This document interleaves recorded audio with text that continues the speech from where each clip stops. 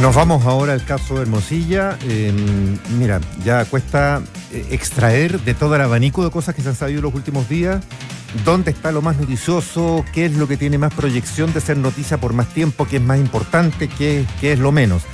Buscando separar paja de grano y de concentrarse en lo relevante, eh, no, es, no es fácil, ¿eh? porque se suman muchas cuestiones que aparecen aquí como colaterales, a veces incluso hasta anecdóticas otras que parecen anecdóticas, ojo, porque no lo son tanto, vamos a ir entrando en eso.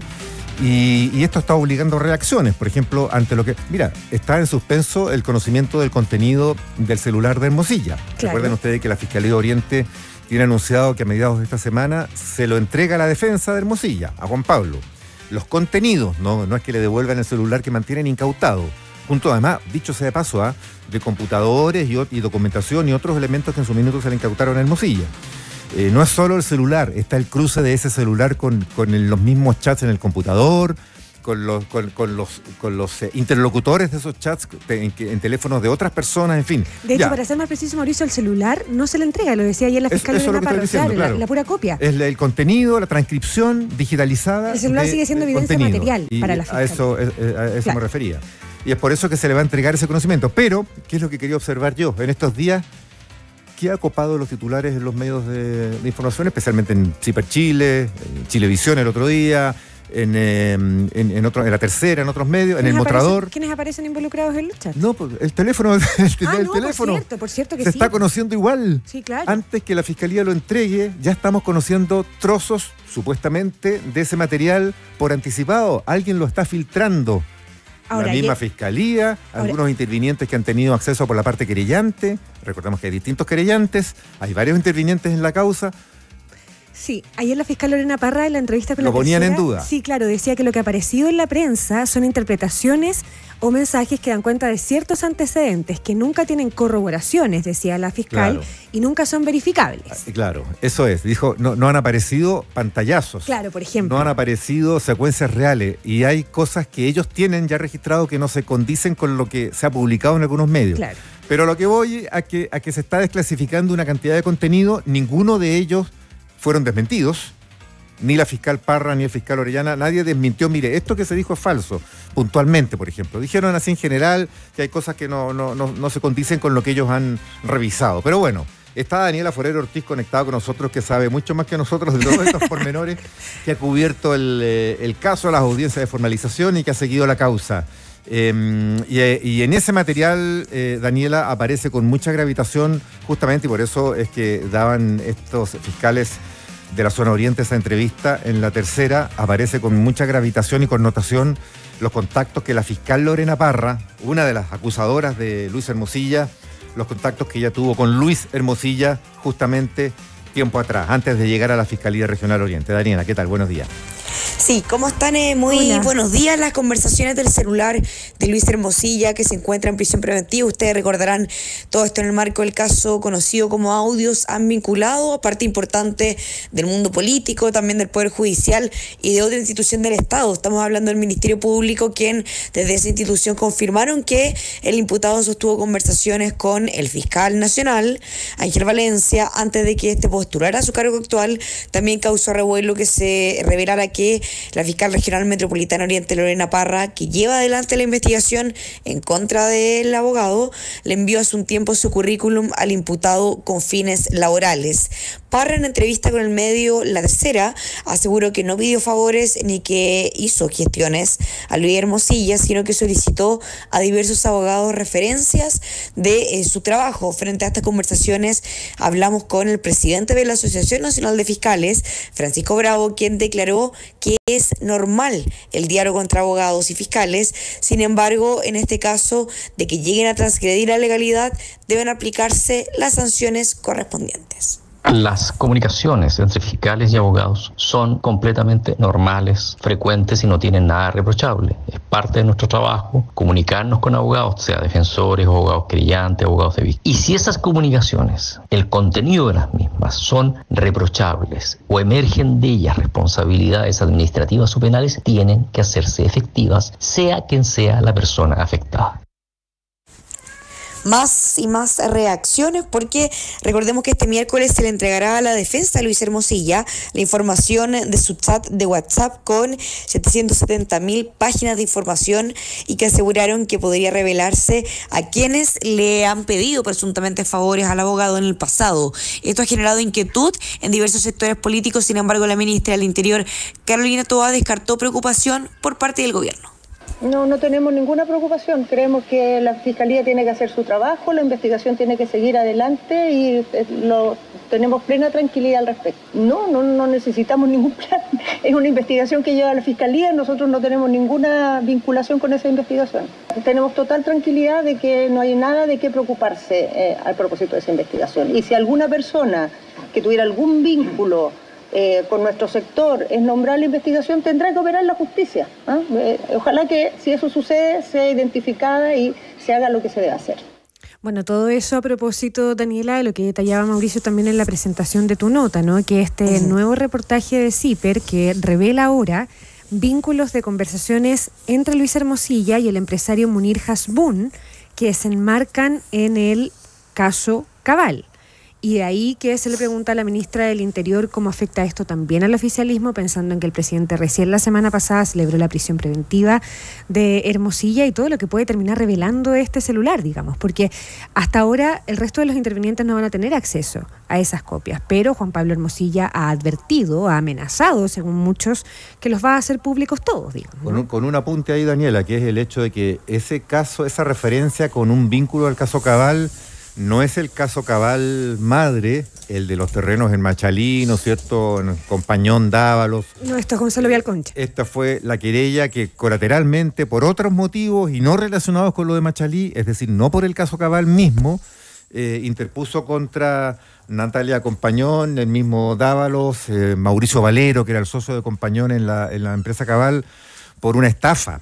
Una estafa que decía relación con, con, con un tema por el cual como que fue inducido a, pagarles mucha plata por una por un, por un caso medio falso, construido con unos correos eh, espurios, digamos. Eh, eh, bueno, es, un caso largo de detallar, pero era, era, era otra arista, eso para, para que no se lo vincule directamente con el, con el caso Cabal propiamente tal.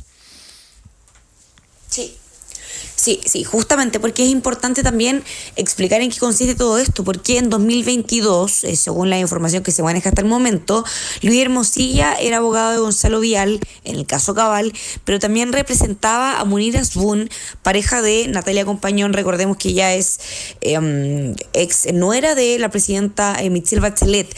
En chat revelados por este medio de comunicación, estamos hablando de CIPER, Hermosilla informaba a Asbun sobre las gestiones para que Vial retirara la querella contra Compañón, como decíamos, ex nuera de la jefa de Estado, relacionaba eh, con una lista del caso Cabal. Hermosilla aseguró que Sebastián Dávalos Bachelet, ex esposo de Compañón, estaba eh, bloqueando el acuerdo. En los mensajes Hermosilla mencionó que contactaría a Analía Uriarte, ustedes recordarán, ex jefa de gabinete de la presidenta Bachelet y ex ministra del actual gobierno para avanzar en las negociaciones. Frente a esto, surgieron diversas reacciones, por una parte eh, del diputado Partido Socialista, Daniel Manucheri, recordemos que él es, eh, era presidente de la Comisión Investigadora del caso Audio y actual eh, eh, creyente, quien dijo que en base al reportaje no hay tráfico de influencia, sino que un contacto, abro comillas, pero sí aparecen involucrados parte del oficialismo, deben ser juzgados de igual manera. Mientras tanto, Jimena Sandón, diputada de Renovación Nacional, desconfió de la posición del Ejecutivo asegurando que afecta a todo el espectro político si empezaran a aparecer gente involucrada en delitos del oficialismo, nuestra posición va a seguir siendo igual de firme, eh, que aquí se investigue, caiga quien caiga, porque la corrupción se combate, venga de donde venga. Eh, ya estaban apareciendo aristas del caso Cabal, que van a involucrar probablemente a Michelle Bachelet y en este caso pareciera a Ana Libriarte. Entonces, a mí me parece que son palabras como de buena crianza, pero que no están reflejando lo que realmente el gobierno eh, debe sentir en este minuto. Existe inquietud en todo lados. Bueno, y Sebastián Dávalos eh, Bachelet afirmó que no ha tenido contacto con Analia Uriarte en al menos una década y que también desconoce si ella estuvo involucrada en el acuerdo eh, para retirar estas acciones judiciales, para retirar estas querellas. Además, acusó que el caso Cabal se mantuvo vivo por motivos políticos, señalando a Luis Hermosilla como el responsable de alargar el proceso durante casi ocho años, pese a que, según Dávalos, no había delito alguno. Sí, agreguemos que anoche también la propia Analía Uriarte em, reconoció que había sido contactada por Luis Hermosillo en su momento, pero que no hizo nada en consecuencia. No recibió ese contacto, eh, pero no, no hubo ninguna injerencia de ella en el caso, no intervino. Eh, en el fondo no le hizo caso. ¿ah? Como que hasta ahí llegó el, intento que había tenido Luis Hermosilla con, ella por, por lograr alguna algún favor o alguna, alguna facilidad en el, caso que estaba llevando. Que es también lo que planteó antes Sebastián Sichel, ¿no? Cuando aparece mencionado ah, incluso en plena audiencia de formalización con este crédito de eh, Banco Estado. Me parece a mí que ahí hay que poner también el foco precisamente para no perderse de lo importante, Mauricio, lo hemos planteado durante los últimos días también eh, la semana pasada. Eh, no por el hecho de aparecer involucrado en una conversación con eh, Luis Hermosilla, las personas están en un en un radar de la Fiscalía a propósito de haber cometido delitos, de estar involucrados, de ser parte de una trama de corrupción, ¿no? Lo hemos dicho con harta claridad. Hay que empezar a ver el nivel de involucramiento y sobre todo a propósito de eso cómo se hace cargo la Fiscalía, con índices o indiciarios de delito, que es lo que ha mostrado hasta acá digamos, que es lo que ha mostrado hasta acá nomás en la audiencia de formalización, Daniela. También lo hemos reiterado, por ejemplo, ni siquiera el ex ministro Chadwick aparece como imputado, según ha aclarado el propio Ministerio Público en varias oportunidades.